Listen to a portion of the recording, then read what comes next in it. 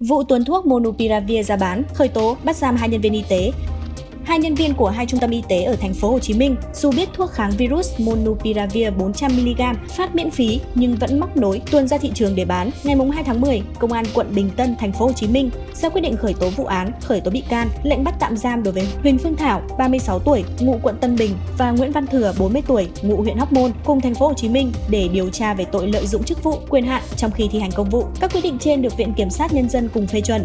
Theo thông tin ban đầu, Thừa là nhân viên quản lý kho dược của Trung tâm Y tế quận Bình Tân. Nhiệm vụ của Thừa là tiếp nhận thuốc kháng virus Monupiravir 400mg từ Sở Y tế thành phố Hồ Chí Minh để phân phối xuống Trung tâm Y tế 10 phường của quận. Ngày 13 tháng 9, Thừa nhận 1.079 hộp thuốc kháng virus Monupiravir 400mg từ Sở Y tế thành phố Hồ Chí Minh. Sau đó, Thừa bán 50 hộp thuốc này cho Thảo với giá 2 triệu đồng một hộp. Huỳnh Phương Thảo là nhân viên của Trung tâm Y tế quận Tân Phú. Sau khi nhận thuốc từ Thừa, đã giao bán lại cho người khác thông qua mạng xã hội Facebook với giá từ 2,5 đến 4 triệu đồng một hộp. Những người mua thuốc từ Thảo lại bán tiếp cho người dân với giá từ 5,5 đến 6 triệu đồng một hộp. Làm việc với công an, Thừa và Thảo đều biết đây là thuốc thử nghiệm, phát miễn phí cho những người bị nhiễm Covid-19 đang điều trị tại nhà nhưng vẫn móc nối tuồn ra thị trường để bán.